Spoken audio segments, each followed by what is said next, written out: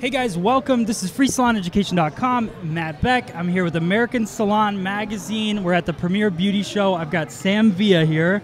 And What's I'm up, Matt? Super excited. Uh, I, I pretty much say I'm excited to talk to everybody, but I am legitimately excited for the fact that you were doing free content before free content was cool.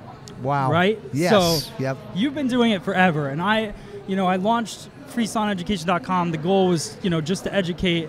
I, I watched the way that you create videos is it's knowledge first and then everything else comes after that. Well, you know what, Matt? I think one of the most important things as a hairdresser, we must never cease to learn. You know why? Because I really believe, Matt, there's danger in the comfort zone. So a lot of times I'm telling hairdressers, keep one foot in the comfort zone and one foot out. Yeah. Always continually challenge yourself to do something another way that you already do. Right. You know, like even cutting a one length bob. Can you imagine if you can find three, four ways to cut a one length bob? See, that's what keeps that's a hairdresser excited. You understand it. Like, so uh, I've actually come across this quite a bit is now that you create so much content, you have to go back and you create the same you know one length bob or whatever. Right. But when you cut it differently, like maybe you cut it horizontally one day, you cut it vertically the other day. Now you're understanding all aspects of hair cutting, not just the one way. Like so so so true. And the most important thing about that is this is that one length bobs, as we know, Matt, they're difficult to cut. Right. Yeah. Right. Right. So it's about finding. I think that the world is so fast paced now. It's about finding simplicity, yeah. simple ways to do things. Like a lot of times, Matt, I'll teach this whole concept of compressed cutting. Yeah. You know, like Montreal, Canada. When I took a big section like that and lifted it, elevated, and cut it, they just cringed, and they kept cringing through the haircut. Right. But what was great to watch their faces when I dried it. And then I did an interview with an editor from a magazine in Montreal, and she said, I have to be honest and tell you, she goes, in Montreal, we're, we don't do it that way. Right. She goes, we were all watching you do this, and we go, that guy is crazy. But she said, I have to tell you, when you were done, it was absolutely beautiful. So she said, there is another way to cut hair. Yeah, there is. And there is, you know, it's, there's, it's a reason. There's a reason behind everything we do. Yeah, and I think uh, so. Condensed cutting, when you look at things like that, like condensed cutting, you're condensing an entire section as long as you understand the why behind it. That's correct. Which is what you guys have, have mastered in explaining the why. Thank so you. So tell me about tell me about your team. How did how did the whole thing get started? Um, when did it start? Well, I think it really started for me personally when I uh, I've always been teaching now for 35 years. Right. But I didn't really know. I was really in sports and I was coaching quite a bit, so I okay. knew you know how to go about teaching buddy someone how to do something. But when I got into the hair world, I really knew that I wanted to be a platform artist or be a teacher. So I figured out how to do that. But what really jumpstarted me was when I joined Redken and they said, Sam, you need you're you're really good, but you need to turn it around and focus on the learner. So it's learner based, and I didn't quite understand. I said learner focus. They said focus on the learner, make everything based what you do, what you teach for the learner. Okay. And when you take yourself out of the way, Matt, it all comes out in a genuine way. I have to be honest and say I don't understand sometimes how platform artists can get up on a stage and make things sound so difficult. Yeah. You know, or they make things look so difficult when it can be so so simple. So it was about you know teaching buddy somebody something, but then you had to have the why behind it. I think too many teachers are out there teaching them, here's how you do it. Right. But they never get the why in there. Yeah. And when you get the why in there, people are like, oh, I get it. Yeah. For example, condensed cutting. The example I use is like taking paper in a paper cutter. The less paper you take, the edge is really clean. Yeah. The more paper you take, you get the paper moves and you get this soft little curved line. Yeah. So I tell people, so why would you want to take section by section, get it precise, and then go in there and slice it or point cut it into it? right. You know, let's yeah. compress it. Yeah. And they go, well, Sam, that's not how I was taught. Yeah. Right? Yeah. You always hear that. Right. But you know what? It, like I said, there's more than one way to do something you know, they always they told Vidal Sassoon it's never going to work, and guess what? It worked.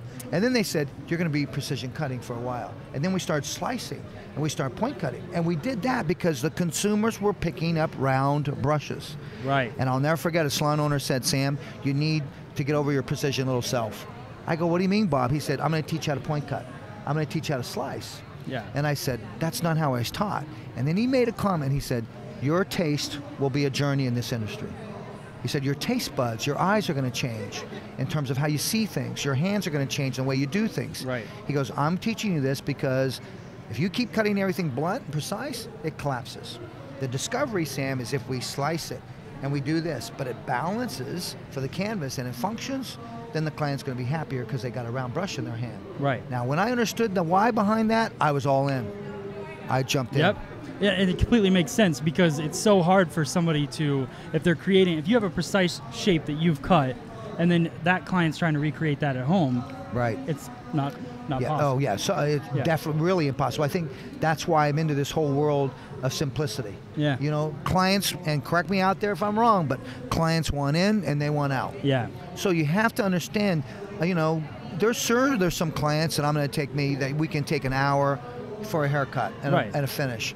But there's some clients where you know you can get that shape done in 30 to 45 minutes. Still great quality shape and without cu- sacrificing customer service. But it's, but their fa- life is so fast paced. They want in and they want out. Just Okay. like you colorists out there, they figured out how to eliminate 100 foils. Right. Right? Yep. They Yep. figured that out. Yeah. So I mean, it's all about discoveries. Yeah.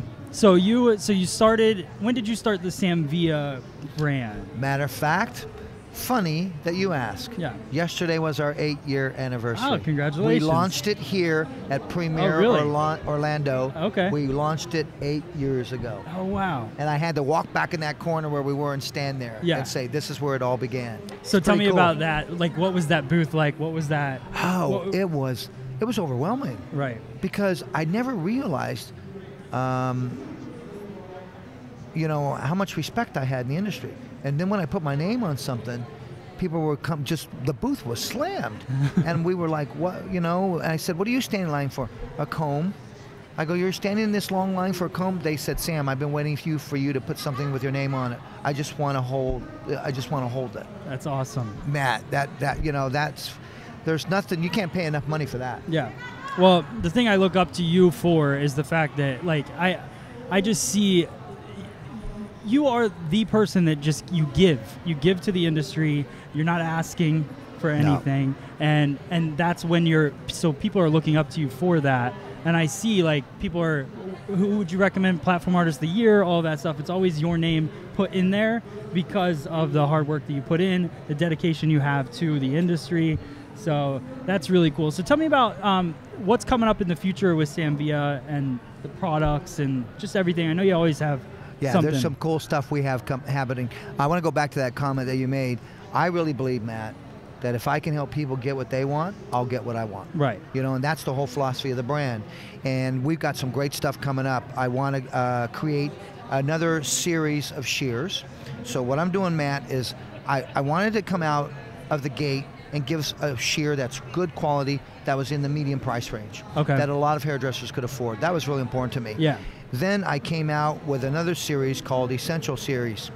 And I said to myself, I want to make this for the kids coming out of school. I want to make it, make it for the hairdressers that can't afford a 500 Right. $400, $300 shear. Yeah. Now, I'm coming out with a Rolls Royce. Okay. So now it's time to come out with the shear that there's a tribe out there that want they they have no problem paying nine hundred thousand dollars Right. for a pair Yeah. of shears. So I want to go in there, you know. So I'm just putting my feet in the marketplace in terms of the, the, the those price ranges because I want to be able to capture all of the market, not just a particular market. Okay. So I'm excited about the shears. I'm also excited about the new blow dryer.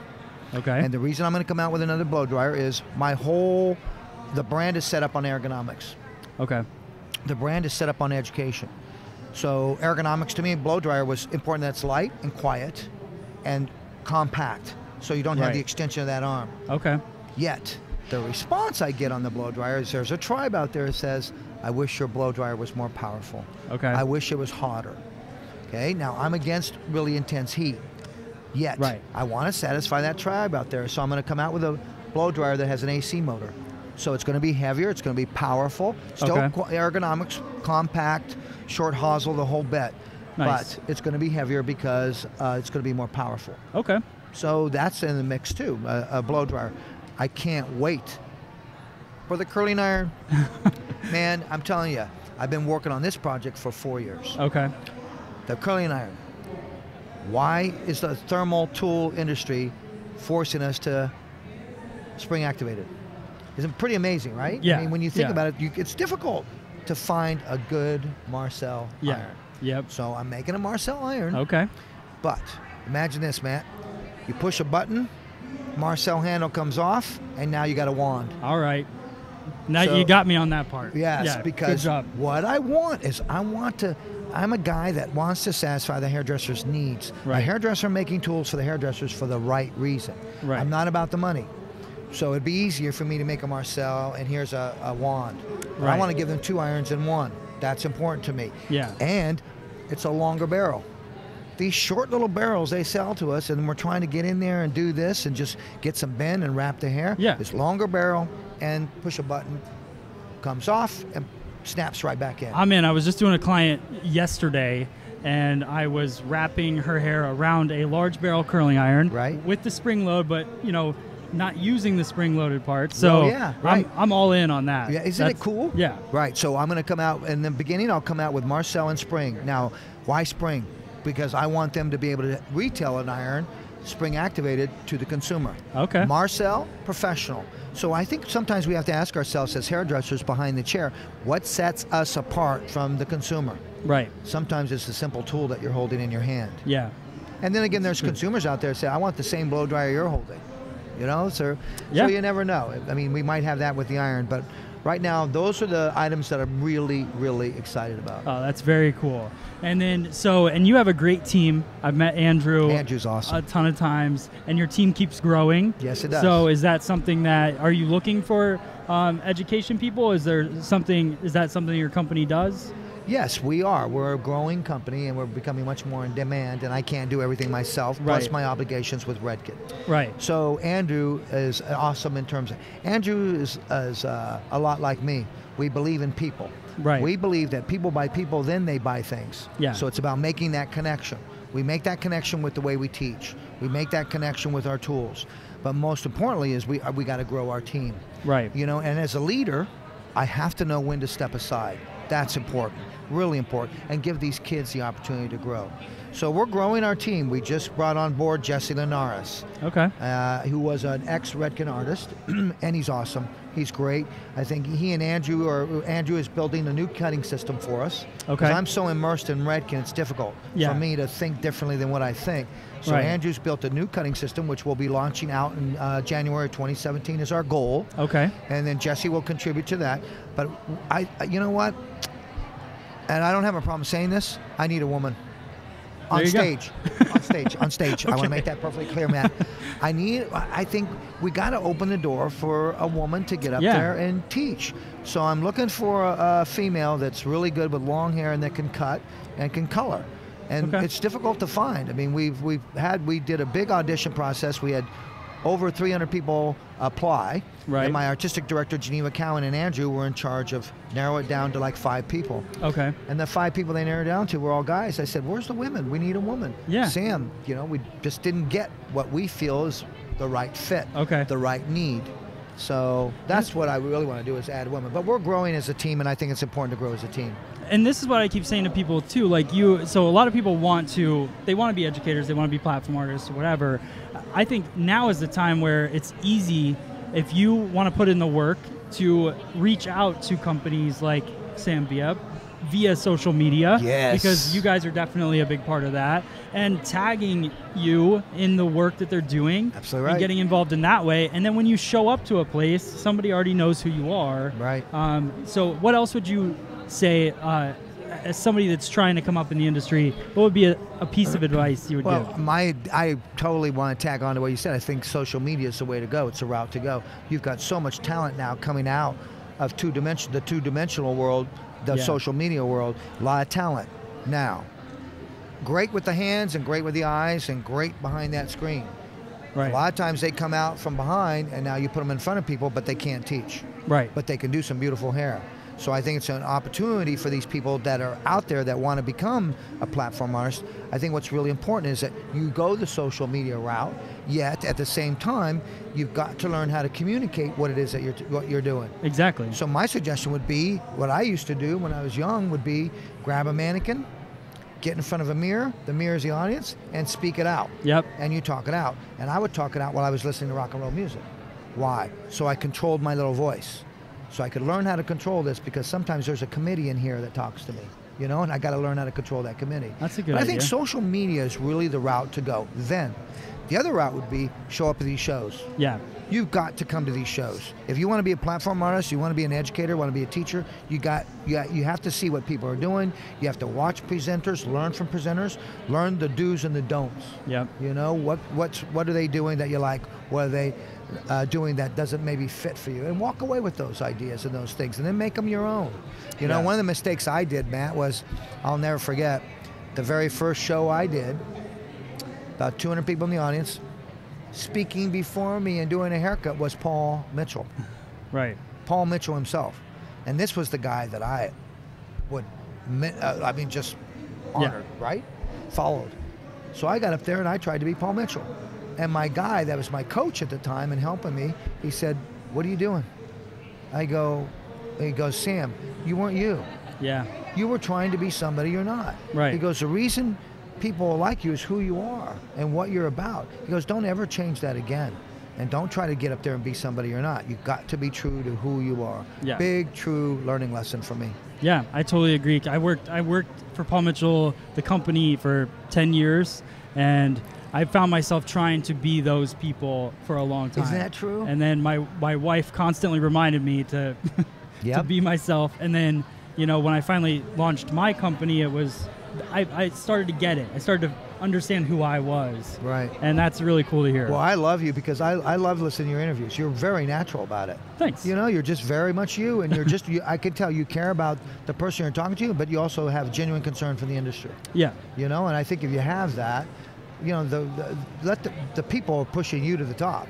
That's what's happening. Well, a lot of people like to be interviewed. I love to dig out and figure out what how the heck everyone else Right. did everything. so this is a way better seat for me because Yeah. I get the insider information. So that's very cool. So anybody wants to follow Sam Villa, Sam Villa everything, Okay, right? Yeah, so it's uh, Sam Villa Hair is our Instagram. Uh, Sam Villa Professional is our f- uh, professional Facebook page. Okay. And then also be sure to check out the the uh, YouTube channel slash Yeah. Sam Villa. That that's where all the education goes. Yeah, You know, I tons. mean, YouTube is a is a place. I mean, Such a people, cool you- platform. You, know what, man? People are yeah, exactly. People go, where'd you where'd you come up with it? I go, I'm the messenger. I'm the guy that goes out there, finds it, and then I deliver it. Right. I I have been doing this for 39 years.